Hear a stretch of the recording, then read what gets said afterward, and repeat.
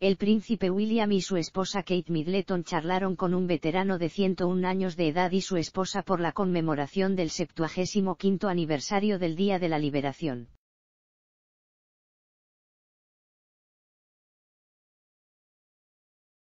El duque y Kate han querido estar junto a todos los ciudadanos británicos en esta celebración de un día tan importante y que supuso el final de la Segunda Guerra Mundial.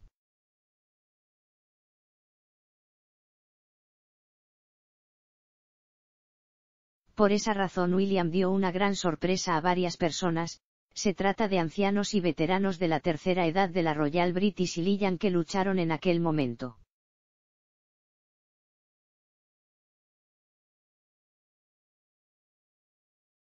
Los antiguos combatientes celebraron una videollamada del británico con muchas copas de champán y también con gran cantidad de banderas, quienes tuvieron la oportunidad de hablar con los duques de Cambridge.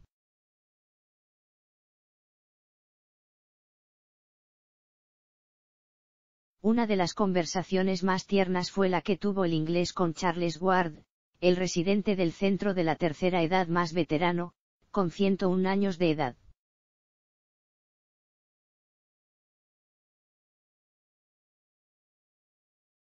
El famoso mantiene así abierta una ventana donde los ciudadanos británicos pueden comunicarse con el príncipe a pesar de la distancia social impuesta por el avance del coronavirus en el mundo.